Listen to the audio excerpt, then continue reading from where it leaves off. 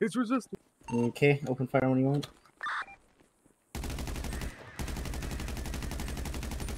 Hit him! damn it. Come I on, did. You're bad.